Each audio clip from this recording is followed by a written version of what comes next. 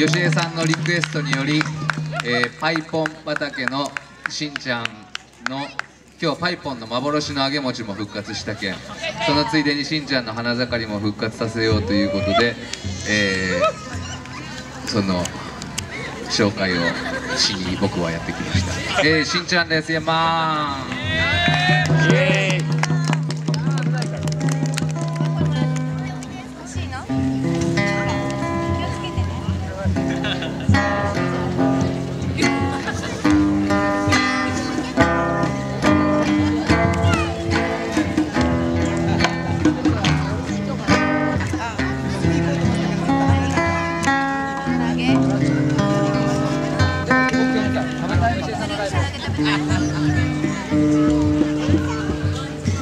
いやもう売り切れてるもう売り